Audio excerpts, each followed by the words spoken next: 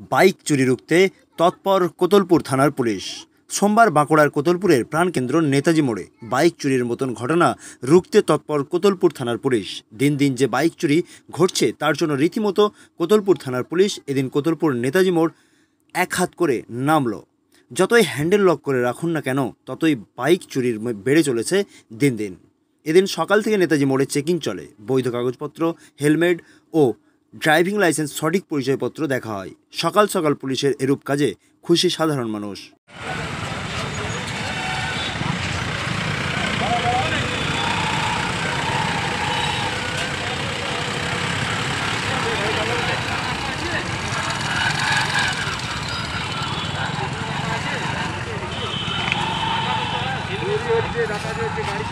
দেখছেন গাড়ি কাগজ দিয়ে বেড়াচ্ছে না পুলিশকে জেনে বসে থাকবে, যে কার গাড়িটা, কার বটে দেখে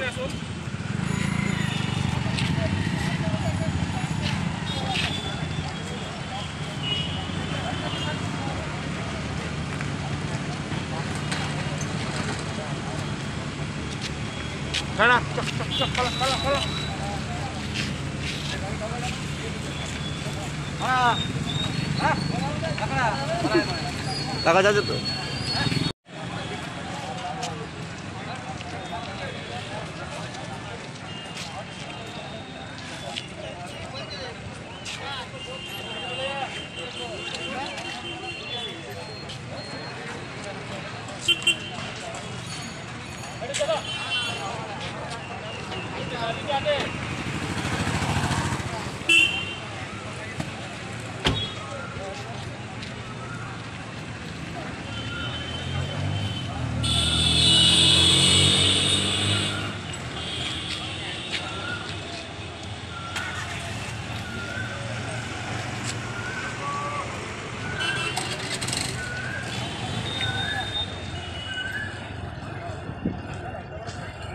বাঁকুড়া থেকে দেবজিৎ দত্তের রিপোর্ট বর্ধমান টুডে।